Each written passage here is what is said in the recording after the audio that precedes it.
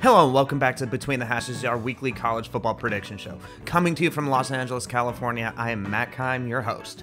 And today we're going to be taking a look at a top 10 ACC matchup. NC State hosts Clemson.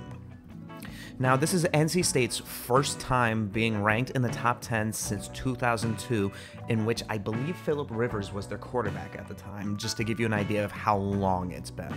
NC State does not have a very great history with football. Like, they've been decent, they have had decent players coming through the Russell Wilsons, the Philip Rivers, etc. But they've never quite been a relevant power or anything.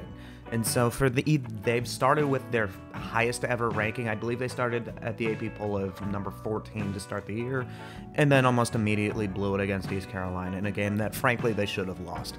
The only reason they didn't lose to East Carolina is because East Carolina's kicker missed some of the easiest kicks you'll ever see because college kickers have a tendency to be inconsistent but re- really, East Carolina should have won that game. NC State is led by Devin Leary, the, the quarterback who led them to an upset against Clemson last year.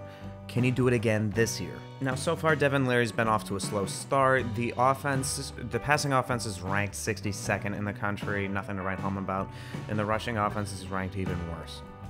However, the defense is giving up only 11.8 yards per game, and so there is a bit of a push and pull with uh, NC State. And Dave Doeren's been there for more than a few years now, and he's building something really good at NC State. But again, I don't, I don't know how much I trust NC State, especially after having seen that East Carolina game. Can Leary and this offense wake up a little bit as the season matures a little bit? Hopefully the answer is yes. I kind of have a hard time seeing it against Clemson. Now, on Clemson's side. Now, Clemson is once again led by DJ Uiagalelei, uh, the quarterback who stepped in for who first stepped in for Trevor Lawrence back in 2020 and has been their starter since that season. And he has kind of had an up and down career. He looked fantastic in that 2020 season, but he quite hasn't regained some of that magic per se. He hasn't really put up those great numbers, and during a blowout win over their opener against Georgia Tech, there were people calling for him to be benched, despite the fact that the team won by four touchdowns.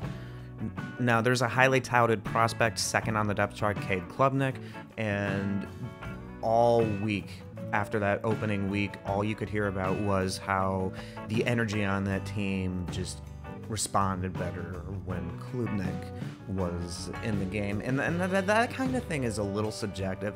And by the time by the time he went into the game, it was kind of already in Clemson's control.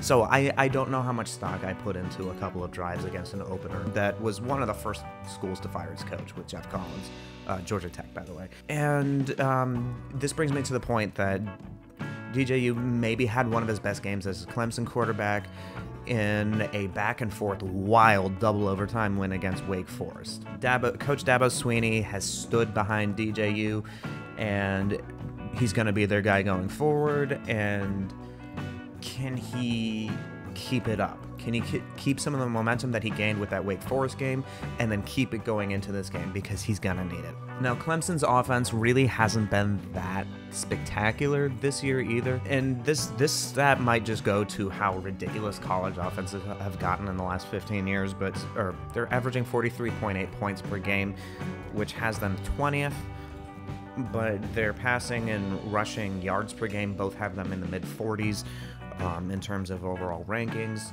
And so there's a lot of work that they could do. Clemson's biggest strength is its front seven. There's multiple players on that front who are going to be drafted in the first two days of next year's draft. And so the matchup is going to be Devin Leary versus that front seven, and then Devin Leary versus Clemson's biggest weakness, which is its secondary, which gave up a million and a half yards to Sam Hartman and company last week and so it's it's almost like a strength versus strength and weakness versus weakness with this with this school. Um, and it just kind of comes down to who do you think is going to execute a little bit better. I personally lean Clemson, even though they're on the road. The line is six and a half. I don't know that they cover, so I'm going to say Clemson wins, but NC State covers. Just because I think that NC State's defense which has only given up 11.8 yards per game so far this season, is going to be more than enough to keep NC State in the game at home for a long enough time to where they can cover and have a chance to win, but I still think Clemson pulls this out in the end. Okay, our lightning round. We have a really exciting lightning round this week because all four games I'm about to feature are all ranked matchups. And to be honest, this was actually the hardest lightning round that I've picked up to this point because I quite honestly have no idea who's going to win most of these games. For example, number 7 Kentucky versus 14 Ole Miss. Will Levis has been shooting up on people's draft boards, but he meets a really, really good and somewhat underrated Ole Miss team led by Jackson Dart. I kind of lean Ole Miss simply just because they're at home, but I quite honestly have no idea. Kentucky's running offense has been really bad. They're getting some help back on that front, but I still think Ole Miss pulls this one out at home. Next matchup. Second ranked Alabama versus 20th ranked Arkansas. I think this is one of the more vulnerable Alabama teams we've seen in the last 10 years with Nick Saban, um, but I do not think Arkansas is the team that's going to push him. I take Alabama here. Next one, Oklahoma State at Baylor. This is another game that I quite honestly have no idea who's going to win.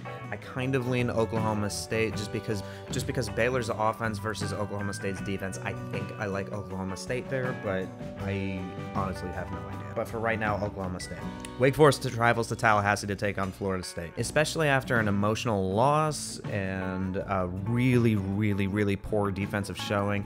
I think I give the edge to Florida State at home here. And this brings us to our underrated game of the week. I'm going to ride that Kansas Jayhawks bandwagon until the wheels fall off.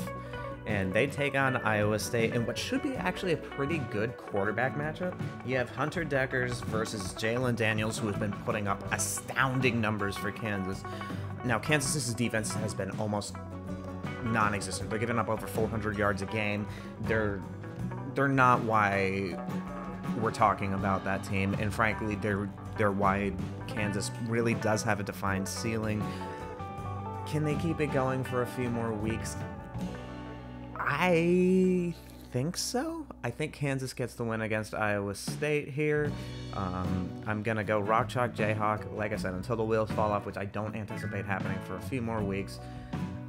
Um, Iowa State's favored, so Kansas in the upset that's all I have this week. So thanks for watching. Remember to like, comment, subscribe. We have weekly updates on the Washington Commanders with the John Keim Report. We have updates on the Washington Capitals with All Caps, hosted by former Capitals defenseman Karl Alzner and AP hockey writer Steve Whyno. Hockey season's right around the corner. Uh, the Commanders are looking to turn it around this weekend against Dallas. Can they do it? I'm not the expert, so I'm not going to tell you. You can find all of that and more on Ampire, that's A-M-P-I-R-E Media on YouTube or wherever you get your podcast. Thanks, guys, and enjoy the games.